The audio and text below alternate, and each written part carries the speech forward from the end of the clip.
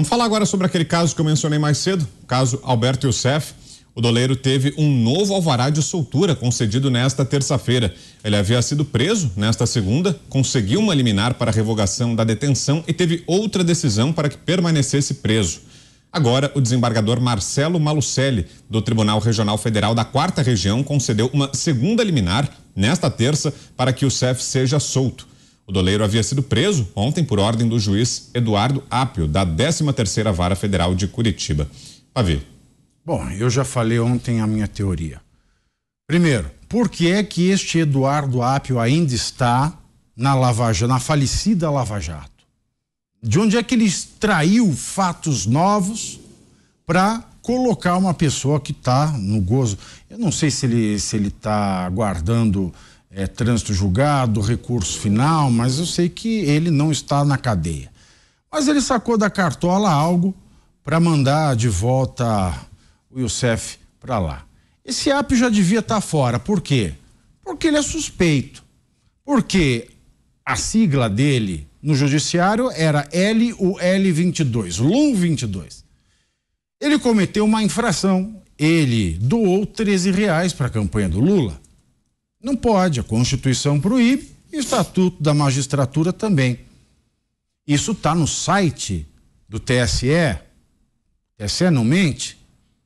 Mas ele diz que não foi ele. Ao mesmo tempo que ele se nega a pedir correção no TSE. Por quê? Será que ele não acredita no TSE, não acredita na justiça? Ou será que ele não vai conseguir comprovar que não foi ele? Ou será que o TSE vai provar que foi ele? Portanto, ele deve satisfações ao CNJ, porque o CNJ e o povo brasileiro estão sendo feitos de palhaços. Tenha ele feito essa doação ou negando-se e não querendo a retificação, o CNJ deve é, puni-lo. Então ele deve estar fora. Estando, o que, que eu imagino? Lula e Lira estão numa queda de braço. Há uma história antiga de Lira no prédio de Youssef em São Paulo. E talvez este juiz com tendências lulistas pode estar forçando alguma coisa nesta queda de braço entre executivo e legislativo. Diga Dantas. Vamos à informação. Eu obtive mais cedo acesso a diversos documentos que envolvem este episódio, porque virou um imbróglio jurídico. Ontem, em primeira mão, demos aqui a decisão da prisão né, do Alberto Youssef, uma decisão tomada de ofício, sem consulta ao Ministério Público Federal, sem nenhum tipo de demanda da polícia, nada.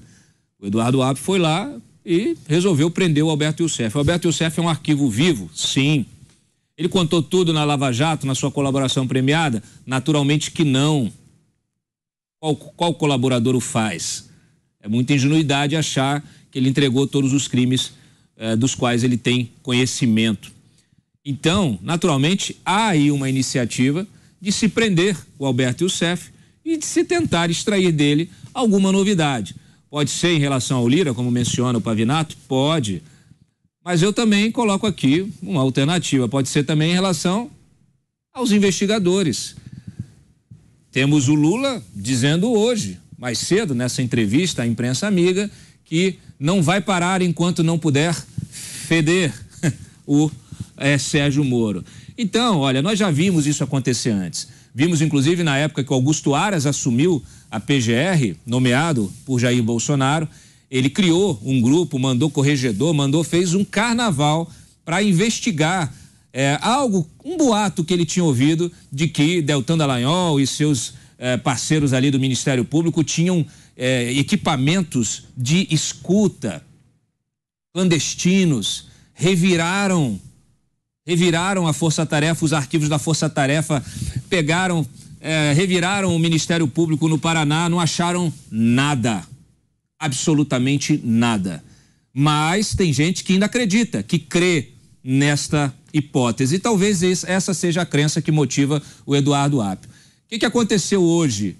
O, TRF, o TRF4 derrubou a liminar, é, derrubou a decisão dele, porque, naturalmente, ela era muito mal fundamentada, ela não fazia sentido. Ela fazia referência a um processo, inclusive, já suspenso, um processo lá de 2015. Mas, enfim, aí ele usou a audiência de custódia para mandar prender de novo o Alberto Youssef. a, a, e usou como fundamento novo o depoimento de duas crianças ouvidas pela, por agentes da Polícia Federal que foram à casa de Youssef em Santa Catarina e elas disseram: não, essa casa aqui, que é um conjunto de casas, isso aqui é tudo do Alberto Youssef.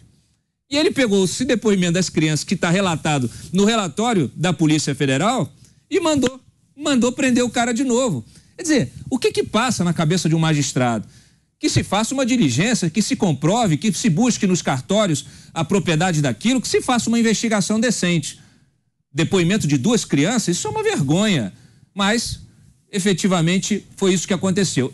Pelo, para o bem da justiça, o TRF4 eh, tomou a decisão de invalidar essa segunda eh, prisão do Alberto Youssef, também porque não foi ouvido o Ministério Público Federal. Agora, o que que se extrai disso? Aonde que acontecem decisões tomadas de ofício sem a consulta prévia ao Ministério Público Federal, que é quem tem ali a, a liderança da ação penal? Aonde que acontece? Será que é no STF? Será que tem algum ministro fazendo isso? mandando prender, mandando fazer busca e apreensão sem ouvir o Ministério Público? Será que isso está acontecendo? É o que eu falo sempre, gente. Autoridade, quem governa, governa pelo exemplo. Se quem está em cima, no topo da cadeia alimentar, manda um sinal para baixo de que pode, o sujeito lá na ponta vai achar que pode.